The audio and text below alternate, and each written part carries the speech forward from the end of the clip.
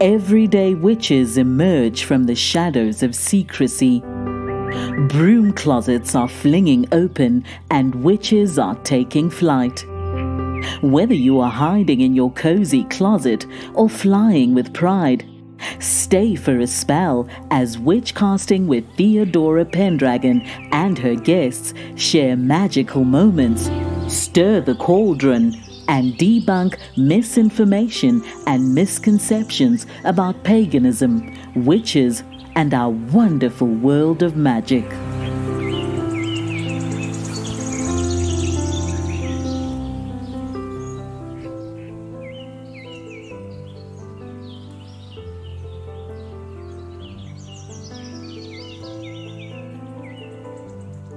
Welcome back. Today's special guest, his name is Shun, and he's retired military, and we're going to talk about his journey as a pagan and what he is now doing for the pagan community now that he's retired. Welcome, Shun. Thanks. Thanks for having me. You're welcome. Let's talk about how your spiritual path started as pagan. Well, it was a long and arduous one. uh, I grew up kind of around the Baptist church. Uh, never really part of it, never been baptized. So I didn't have any guilt feelings when I did become a pagan. But it wasn't until I think my wife was pregnant uh, with our daughter. I was like, you know, because I'm, go- I'm going to school and I'm learning about all this ancient history. My mind's ex- expanding and whatnot. I'm like, you know what? What makes any one of the gods that people worship today, what makes them it when there were thousands of gods years before they even came on the planet? And I was like, you know, I don't believe in God anymore. Told my wife, and she broke down. She's like, I can't believe you don't believe in God.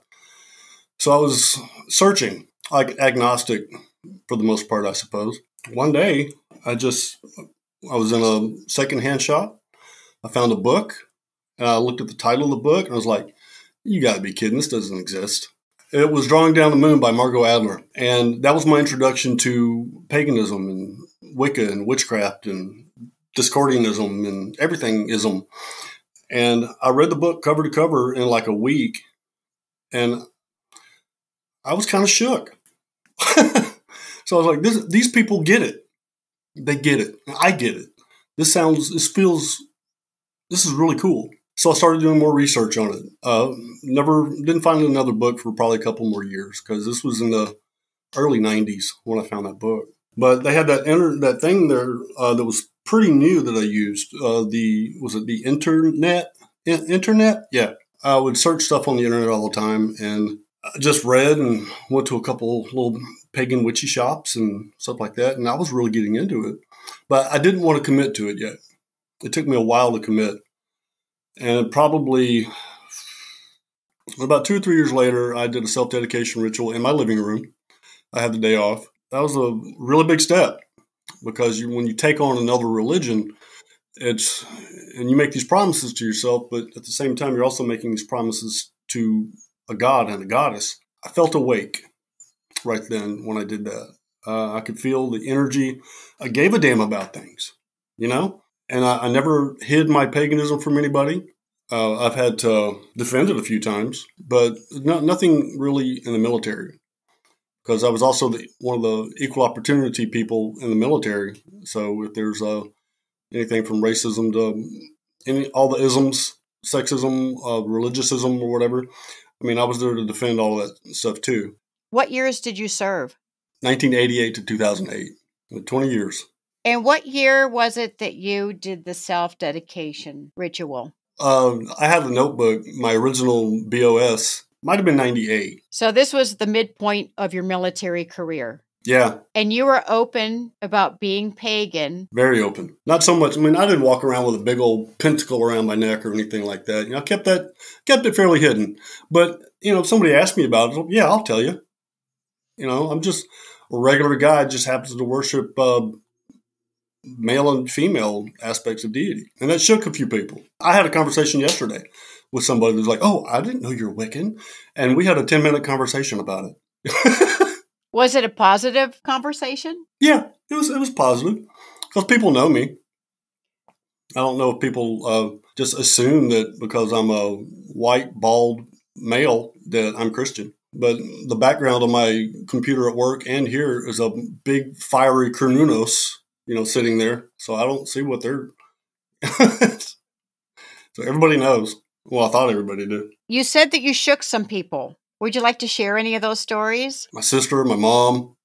My mom still prays for me. My sister and I have had deep discussions. And when we lived in uh, Kansas, this was around the time I, I taught a class to in my friend's college class also and uh, when we moved there you know i was still fairly within within two years of me becoming wiccan so i'm, I'm learning i had a small bookshelf and everything and i had a room probably about as, about this size but i painted a big blue circle on the floor had an altar in the corner i had you know all the gizmos and knickknacks that a lot of newbies collect and i was feeling witchy you know, witchy as hell. I loved it. My sister came to visit. She brought a friend of hers. My sister is a Bible thumping Christian, and her friend has never even seen Harry Potter. so they, you know, I'm down in my my room. It's down in the basement, little computer room, really. And her friend sees this blue circle on the floor and freaks the hell out. She's like, "Oh, oh!" I was like, "Whoa, it's cool." She wouldn't even come in the room, dude. So for like two hours. So she wasn't even scared away by a, a, pentagram. No, no, she wasn't. She saw a blue circle and knew that I was Wiccan, and she was like, oh, "I thought it was hilarious." And I had a little plaque on the wall of uh, uh, Horn God, and she was like, "But that's he's got horns. Is that that's the devil?" Oh, bless your heart. Uh, no, it's not the devil. Does she think that bulls, male deer, are Satan because they have horns? I don't know. I hope not, because she's a country girl. So. Do you still have issues with your mom and your sister? Not issues really, but we talk about it every now and then. My mom is well aware of what I am, who I am, and what I do. This past Christmas season, Yule season, uh, I was teaching a class over at Lackland, and my parents came to the show they came to the class. And I, we had about 300 people there that day in attendance. Tell us about Lackland and what you do there. Lackland is a unique thing. It's, uh, it's where they have all the Air Force go there for basic training. They go there for their uh, individual technical uh, classes as well after basic training, but they're afforded the the opportunity, it's, which is their you know their right to attend religious services of whatever religion they choose. And there are a lot of them. There are a lot of religious services that they host. I host the Wiccan service. Uh, last week, I think we had 380 people come in, and that was our uh, Ostara ritual. So I have about, let's see, one, two, five instructors working with me, and they're all very different levels of knowledge of Wicca, very different um, experience and time. I think I've, I may be the the elder, maybe just because I'm an old fart. I don't know, but you said that you brought your parents. You invited them. Yeah, invited them. They enjoyed it. Was that their first experience with a Wiccan ritual? Twas. I don't think we did ritual when I was. I can't remember if I did a ritual or not because sometimes I'll like I'll knock one really quick together just to give the audience uh, an idea of what a Wiccan, Wiccan ritual can be like and it's bare bones, man. It's no no flowery words. It's um, it's get them in, get them out, and let's get on with our life. Let's build some energy. You guys want to graduate? Let's build some energy. So mote it be. They like so mote it be. Let's get it done. You know, uh, I can, I did the uh, last ritual I did was the Imbolc ritual. We were in and out, cakes and juice, forty five minutes, three hundred people. so your parents are Baptist. Uh, my mom's kind of Baptist. My dad's Methodist. Do they give you any feedback after the open circle, or was it an open circle, or were you teaching? Uh, it's kind of both. Uh, we call it an open circle because anybody can come in. If you have access to base, I don't mind if you come in, but they do have to be. People have to be separated from the basic training students because they're you know still kind of locked in due to discipline issues and things like that. But yeah, they they enjoyed it. They my dad he's the only one that didn't give me any crap about being a witch. I think it's because of his experiences in the military. He retired after 30 something years in the military, and he was a first sergeant, which means he's in charge of a lot of folks. So he's like, I don't care. What's it similar to? I said, like, this is way back in the day. He says, anything like Native American stuff. I said, there's some similarities. He goes, cool. And that, that's the last I heard of it. That was 25 years ago. And what about your mom? I hear about it every two or three weeks. what did she say? When I die and go to heaven, I want you to come to heaven too. I said, we could talk over the fence or something. Maybe. Because our paradise and her paradise is different. She can't see it any other way but hers. Yeah.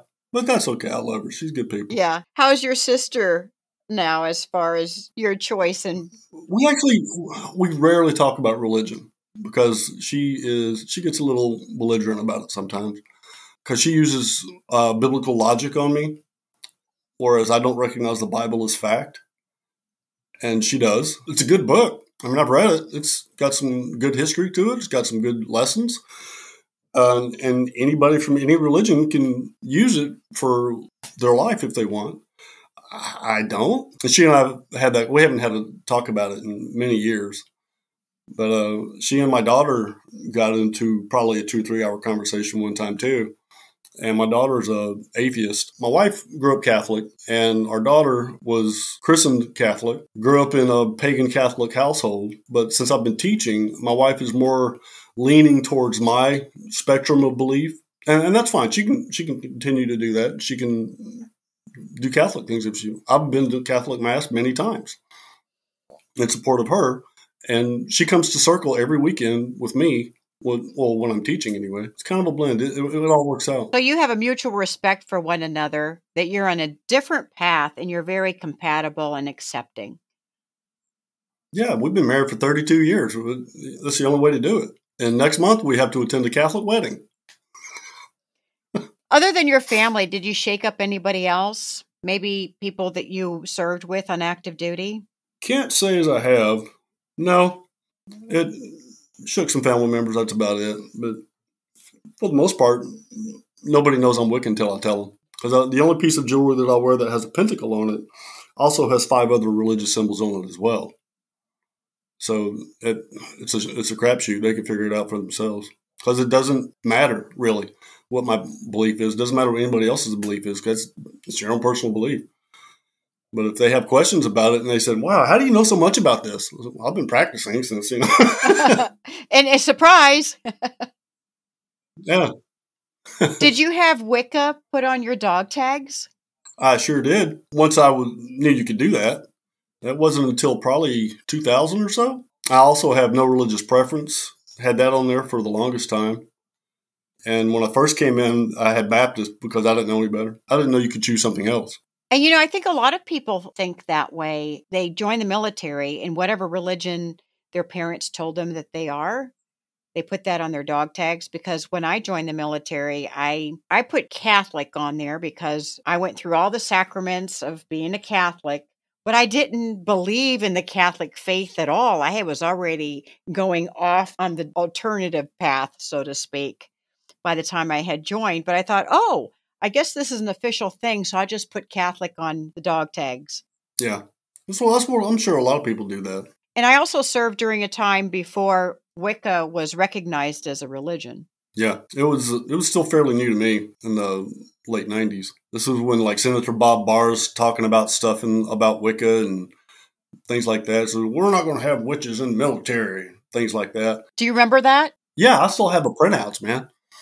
That's like my early study, my formative period as a Wiccan. I kept all that crap. I have stacks of things that I've kept. In case the listeners don't know who Bob Barr is and what he said, can you tell the listeners a little bit about that history? I knew you were going to do that. As soon as I mentioned it, that's why I printed it out so I wouldn't have to remember it. That's okay. We don't have to talk about it. But he didn't want witches in the military. yeah, he did not.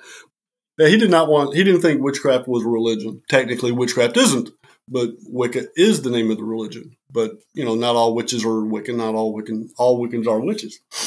Um, I think he was from a representative from Georgia, and he made this big hullabaloo. And I forget what started it because there were actually things on TV. Like there was a TV show called Picket Fences, and there was a woman on there who I think was getting a divorce, and she was Wiccan, and the husband wanted custody of the child because of that. And that, I think that's have that's actually been some uh, court cases involving things like that, which is why a lot of people have always uh, kept their religion to themselves. Um, Bob Barr said things like that. President Bush may have said something as well. I'm not sure, but it didn't matter. We got our rights, and we won.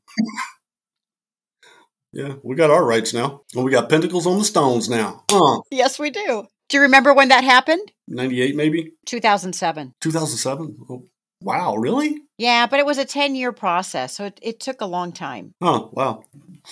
Let's talk about what you do at Lackland. Can you give us an idea of a typical open circle at Lackland or Air Force Base? Typical circle consists of two parts um, because most other religions have religious education and, and worship. I don't know what you would call what Wiccans do worship. So, what we do is we do the education aspect and we show sometimes we'll do ritual. Like the first hour of the class will be just basic education. And we do this all the time. So we get new people every single time. Every and basic training is only about what eight weeks long or something like that. Sometimes we'll get people that will go their entire eight weeks, and we have a totally new crew every eight weeks. So the religious ed- education portion is pretty standard. You know, we believe in you know we, all the we believes and we do's and all that stuff. Um, we throw in meditations and they love the meditations because they never get a chance to relax in basic training. So they come to Wicca class and they're they can breathe, you know, and I make them breathe in and breathe out. Close your eyes, get relaxed. And today, like to, tomorrow, we're going to do um, a spirit animal meditation. They love that because it's it's new something they don't may not know about themselves. We do uh, basic grounding meditations, things like that, and occasionally we'll do like a quick circle just to show them what we do. But most of it's going to be education and Q and A, lot of Q and A. And I've been asked the same question so many times. Oh, what's that? What's that stuff on your altar? Okay, every altar has you know earth, air, fire, water, spirit, etc. And I'll get that question probably three times tomorrow. back to back. Your typical trainee, is that the person who is interested in knowing about Wicca, or is it the person who just wants to get out of cleaning the barracks? Yes. that does that mean yes and yes? Yes and yes. Um, a lot of times it's going to be somebody who's who's curious.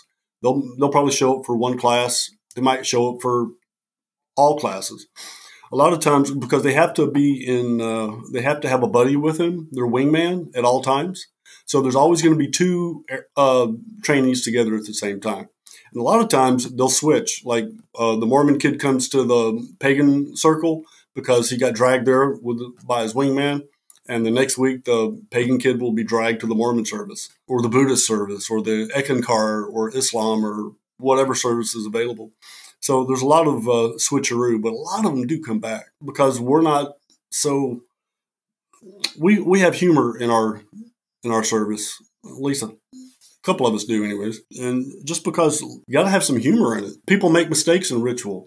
Uh, we did a ritual three weeks ago that it was uh, it was a memorial ritual for one of our brothers who passed away from cancer, and he led the circle for practically ten years. Somebody else took it over after him, and I took it over at last Mabon. He just died a couple weeks ago. When he was in charge, it was just me and him. We would switch off week and week.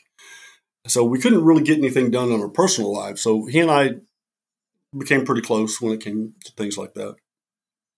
So we did our ritual, and part of the ritual was to open a gate in the circle to allow the recently deceased in. So, you know, break out my athame and make the the gate, which I always thought was a silly thing to do in ritual to cut a gate in a circle with a knife. I just reincarnation's easy. Cutting a gate is silly to me. Just deal with the consequences. But that's what the ritual called for, so I did it. We finished the ritual, we're about to start out cakes and ale, and I'm describing things to the audience. I'm like, oh crap, I forgot to close the door. did they all laugh? I tear ass over there. Yeah, they did. And all the because we didn't have any of the basic training students in the circle. They were there just to watch, but just us cadre or instructors were in the ritual. And everybody started laughing. I was laughing too. I said, crap, because I didn't see it in. I may have deleted it when I printed this thing out. And I closed the door. All right, now he's gone. Everybody's gone. We're good. It's just one of those things that you know people people forget to do all the time. You know, robes catch on fire all the time, and things are spilled. Candle wax in the carpet. Pagan shenanigans. How many trainees usually attend? I have that stat right here. So for the month of March so far, we've had uh, just under a thousand people this month. It's about um, we've been averaging this month around 300 some odd people. Uh, for Feb- for February, we had 1,200 people. January, we had 1,500, 1,582. In October, we had 2,660 people show up for the month. That's impressive. Yeah. I remember when I first started teaching at this circle, um, I was just uh, one of the guys in the lineup. We would be good with 50. But now we had this big auditorium, and one time we filled it. I mean, there was all, it wasn't standing room only, but it was close, man. And they just want to get a break. Do you know if other basic training installations offer this? I do not know. Um, since this is the Air Force's only basic training spot, uh, I know this one. But as far as Army basic training, but I'm not sure. They, they may not. And if it is, I doubt it's to the size that it is here. I'd like to find that out. I'll look into that. How long have you been out at Lackland Air Force Base? I moved here in 2006. I was active duty. The uh, chapel, like we have a really big chapel that's shaped like a pyramid, like a shaped like a temple. A beautiful thing. But our house was like right next to it. And uh, I was looking in the base paper, Wicca, Cir- Wicca Circle. What? So they had a there was a Wicca circle, an open circle for active duty members that's, you know, separate from the basic training stuff. And I went in there and that's how I was introduced to the Sacred Well congregation. They were sitting in there and they were doing a, they were doing a Mabon ritual. Tell us about Sacred Well congregation and your introduction to Sacred Well congregation in San Antonio or Lackland Air Force Base. Well, Sacred Well congregation is a sponsoring entity for the circle that I'm in charge of, and I went through their online training program and got my deaconry certificate back in the day, and uh, then promoted to uh, cleric priest, which is, I believe, it's a title I have now. If people want to look at that, but uh, they're originally out of uh, Netherlands and Texas, so it's an international Wiccan community. It's uh, based out of Greencraft Wicca, which I believe is I want to say it's a offshoot of Alexandrian Wicca. It was another one. It was uh, also a form of I think Elvish Wicca, and they kind of combined to Greencraft. And there's a they had an altar coin that's got some some Elvish written on there as well, with the "And ye harm none, do as you will" on the coin. So a few years ago, we they had a uh, a retreat. So it's at a big campsite and everything, and people got together for a little. It's just like a pagan festival, but it was uh, it was it was a campsite. We went and we learned from some of our elders. Uh, there's a fella from the Netherlands named Agroicha. I don't know what his mundane name is, but Judy Harrow was there, and she was a hoot. And who was she? She was an author. She was a she's a clinical psychologist, and she's written uh, books about or Wiccan counseling or pagan counseling. I took a I got a counseling degree myself a few years ago, and it didn't really match up with me, so, so I didn't do it. Went to school and everything, got the degree. Says I don't want to do this, but uh, her her book, you know, kind of uh, led me towards doing that, and I was like, nah secular counseling is not for me. I, I could probably do parishional counseling or something like that, but no, secular counseling is not for me. So you met her at this retreat? I met her at this retreat. I didn't realize who she was at the time. I didn't realize she was the lady who's uh, work that I've been reading until like the last day. Like, oh, Judy. Wait, Judy Harrow? Yeah, that's her. Son of a bitch. Didn't even get to shake her hand. So you didn't even know she was famous? No, no. But she was a hoot. I'll give you that. She had a mouth on her. if she was on here, we'd have to bleep her out, right? One of those. Probably, probably. Colorful language. People like that are fun. I try. You know, it's difficult because I, I pepper my language pretty hard, pretty spicy sometimes. Um, 20 years in the military, being in the military family, growing up as a kid, you're going to do that. Um, it's really hard not to cuss when you're teaching 319 year olds. That's about all the time that we have. And I thank you so much for sharing your colorful journey. And I thank you for all you do at Lackland Air Force Base. It's much needed.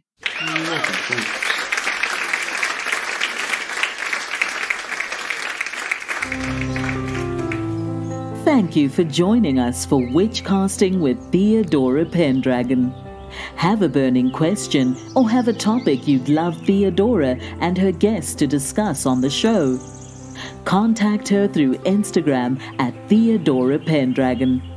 If you enjoyed this episode, make sure to subscribe so you don't miss the next one. And help us spread the word by leaving us a rating and review and sharing it with your friends. See you next time, and may your magic always shine.